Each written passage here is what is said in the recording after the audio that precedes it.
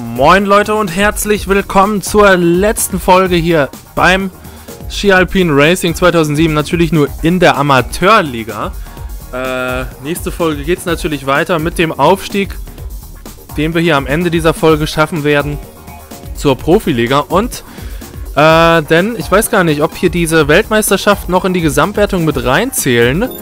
Wir können uns das ja mal angucken, denn das sind die letzten vier, die über sind. Wir haben jetzt ja knapp 88 Punkte vor. 88? Moment. Nee, Quatsch. Doch, 88, ne? Ja, 88 Punkte Vorsprung. Und ja, da werden wir nach, danach nochmal raufschauen. Jetzt geht's los mit den Weltmeisterschaften. Das Saison-Highlight. Das ist natürlich bei der Profiliga wird es natürlich noch extremer sein, weil man da halt viel mehr Weltcuprennen hat und am Ende dann diese vier Weltmeisterschaftsrennen äh, aber das ist extrem wichtig, dass wir hier gut sind und dass wir zumindest in der Abfahrt und im Super-G äh, hier den Sieg holen und im Riesenslalom dann vielleicht auf das Podest und Slalom, na gut, da ist alles möglich oder auch nichts. Ja, wir starten hier als letzter und das ist das Gute, dann können wir direkt mal gucken, wie die anderen unterwegs waren. Los geht's, unser Durchgang. Es gibt ja nur einen Durchgang hier bei, bei der Abfahrt und beim Super-G auch. Und ja, holen wir uns Gold.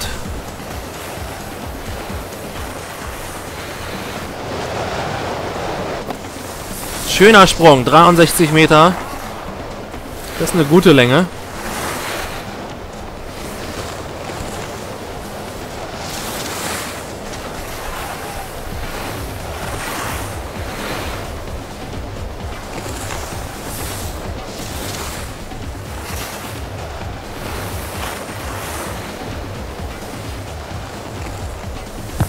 So, leichter Vorsprung, aber nur ganz, ganz leicht. Da kann man sich noch nicht drauf ausruhen. Uh, fast der Fehler. Das wäre es dann gewesen wahrscheinlich mit dem Sieg. Da haben wir Glück gehabt. Und weil es so knapp war, war es noch umso besser.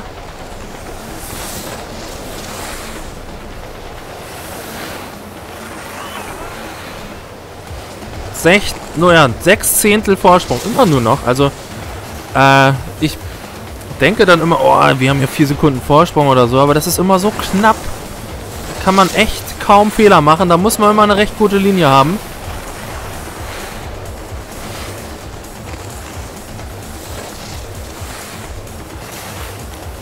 So, nicht mehr lang. Jetzt nochmal ganz kurz Steilhang. Und dann ab durchs Ziel. Letztes Tor. Und springen wir ins Ziel gegen den Banner. Und das ist der Sieg. Also, Weltmeisterschaftssieg Nummer 1 in der Abfahrt. Und das Problem ist, es wird nicht einfacher werden. Ja, 29,93, ganz knapp. Sehr, sehr schön. Also, das ist der Sieg bei der Meisterschaft. Und das ist immer ganz, ganz wichtig. Da können wir gleich mal sehen, was das gibt, dieses eine Rennen. Das lohnt sich nämlich. So, einmal 500 Erfahrungspunkte, 6000 Euro. Und weil es die WM war, nochmal 1000 Erfahrungspunkte und 5000 Euro dazu. Doppelt hält besser. So, und nach dem nächsten Rennen können wir sogar, sind wir sogar bei Stufe 10. Da können wir dann mal ein bisschen Geld investieren und uns einen neuen Helm besorgen für, weiß ich gar nicht, 40.000 oder was der kostet. So, aber jetzt wollen wir erstmal weitermachen mit dem Super G und auch da ist das Ziel der Titel. Und wenn wir den Titel auch geholt haben, dann können wir eigentlich ganz befreit in das Slalom-Rennen gehen. Da erwarte ich mal gar nichts. Und auch ein dritter Platz, also Treppchenplatz hier bei dem Riesenslalom sollte normalerweise drin sein. So, auf geht's. Super Start, 100%.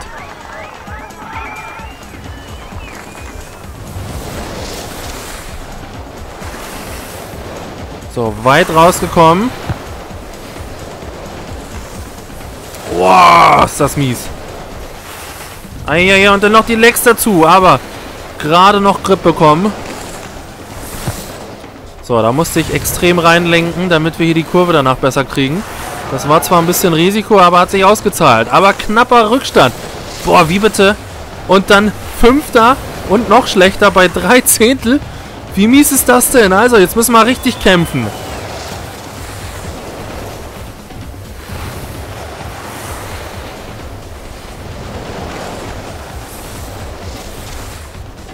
Das war ganz okay. Und das ist die Führung. Und zwar deutlich. Also, das hat sich richtig gelohnt da, der Sektor. Da haben wir wirklich nichts falsch gemacht.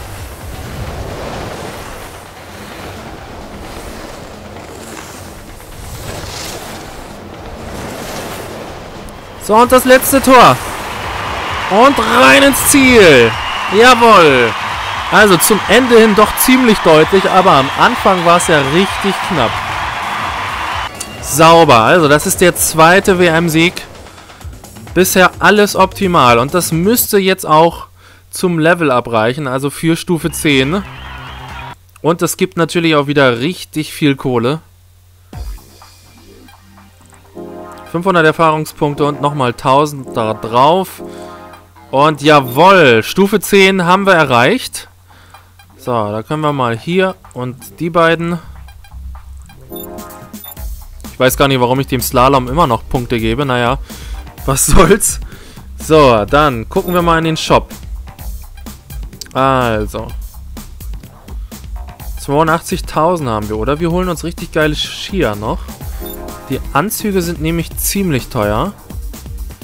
127.000. Das ist ein bisschen heftig. Ähm, die Skier. Oh, die können wir bezahlen. Aber so gerade. Welchen nehmen wir? Ja, sollten schon die besten sein, ne? Handhabung. Ja, dieser eine Punkt Geschwindigkeit ist auch egal. Nehmen wir die von Bodie Miller. Uiuiuiui, da ist die Kohle weg. Da ist die Kohle weg. Aber wir sehen, Verschlechterung der Reibung minus 9. Geschwindigkeit Vorteil und Handhabung hier über 40 dazu. Also, das sieht gut aus, aber das sind halt Abfahrts- und Super-G-Skier. Also da werden wir jetzt bei den nächsten beiden Disziplinen nicht viel von merken. Aber dafür dann, wenn wir in der Profiliga sind. Bei der nächsten Folge. So, jetzt wollen wir erstmal wachsen.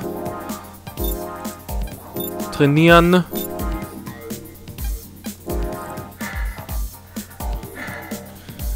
Ja, und dann geht es ab zum Slalom-Wettkampf und ich bin sehr gespannt. Also wir werden hier wieder Risiko gehen.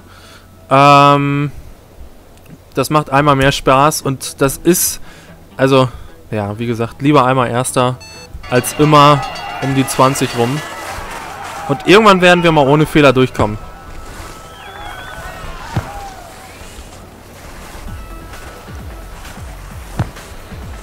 Oh, das ist gefährlich. Wenn man da ins Fliegen kommt, oder ins Springen vielmehr. Da kann man nicht lenken. Da muss man den Tempo rausnehmen. Uiuiuiui. Das war aber nah aneinander. Also, nicht ganz einfach hier die Strecke. Was sagt der Rückstand? Ah, knapp drei Sekunden. Wäre jetzt nur eine Sekunde, wäre der Fehler nicht.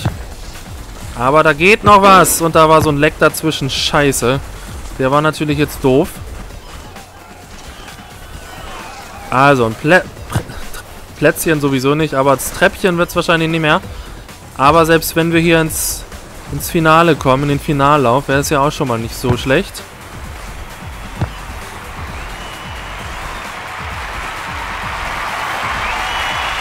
So, und da ist noch einer, der ist ganz doof. Und ins Ziel. Oh, 6 Sekunden. Also, das wird wahrscheinlich so um Platz 20 rum sein. 17. Ja, jetzt müssen wir Gas geben. Also, äh, erste Dr Platz 1 bis 3 oder gar nichts hier jetzt. Also, auf geht's. Ja, das war's schon. Boah, was denn, ey? So, komm jetzt hier. Volles Risiko. Scheiße.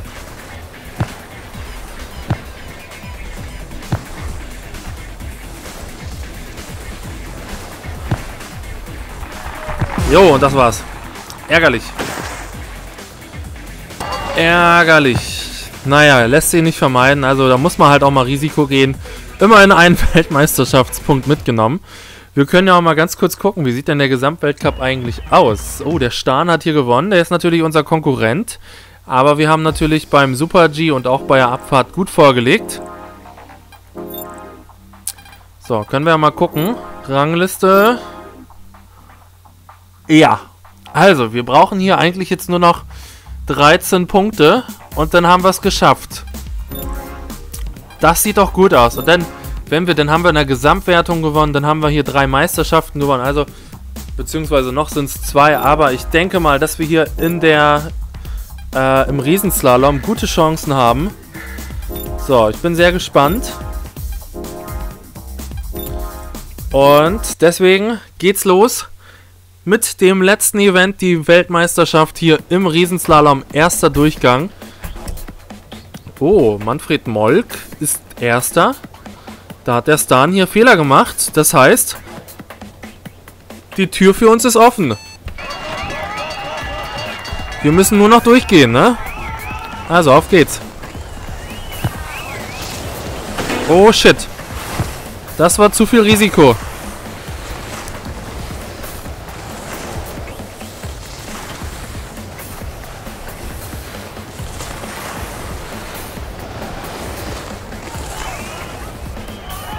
Ah, wie lange man da in der Luft ist. Aber hat Glück gehabt. Und wir sind wieder dran an der Zeit. Oh, juiuiui. Glück gehabt, dass das keine Zeitstrafe gab. Das war gerade noch im grünen Bereich.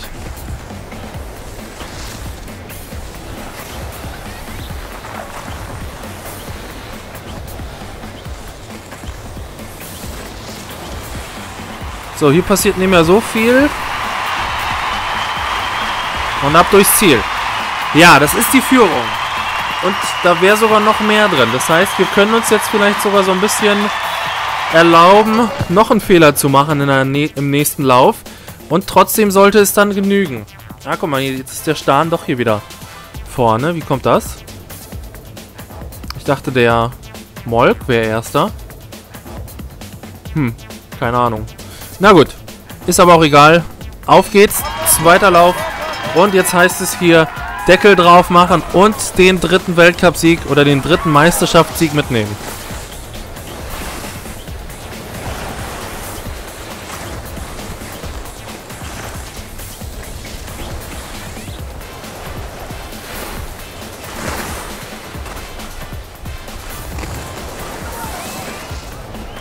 Oh, oh, oh, oh, oh, oh, oh, und jetzt ist die Führung, aber das hat Zeit gekostet jetzt, aber besser als zwei Sekunden Strafe zu bekommen. Und ist der Sturz. Man kann schon von Glück sagen, dass es keine zwei Sekunden drauf gab, aber auch das kostet natürlich Zeit. Der erste Sturz und dann im zweiten Lauf hier bei der Weltmeisterschaft. Das ist doch bitter. Jetzt müssen wir voll auf Risiko fahren.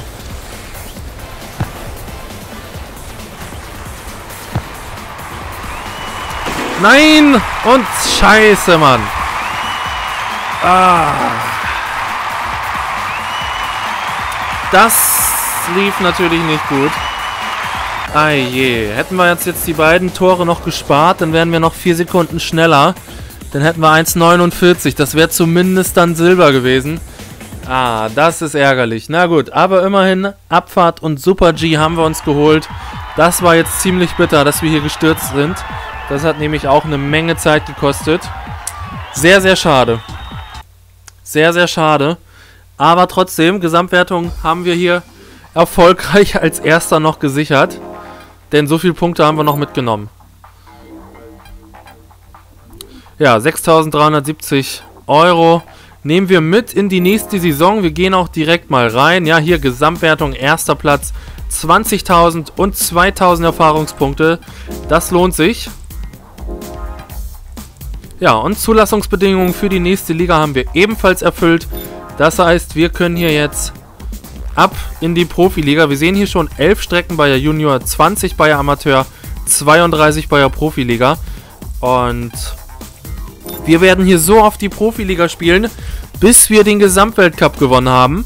Wie lange das dauert, weiß ich nicht, aber ich schätze mal, zweite Saison klingt realistisch. Ja, also, wir kümmern uns dann in der nächsten Folge darum, dass wir hier äh, uns noch equippen, so ein bisschen, uns einen neuen Trainer holen, einen neuen Wachser und dann haben wir als erstes Event den Riesenslalom am Sölden. Wir können noch mal ganz kurz schauen auf den Kalender. Hier haben wir ganz viele Weltcups. Hier haben wir auch ganz viele Weltcups. Und ganz am Ende dann wieder die vier Meisterschaftsrennen. Ich würde mich freuen, wenn ihr dann auch wieder dabei seid hier bei Let's Play Ski Alpine Racing 2007. Macht's gut, Leute. Gerne einen Daumen hoch. Wir sehen uns in der nächsten Folge beim ersten Wettbewerb hier in der Profiliga. Bis dann.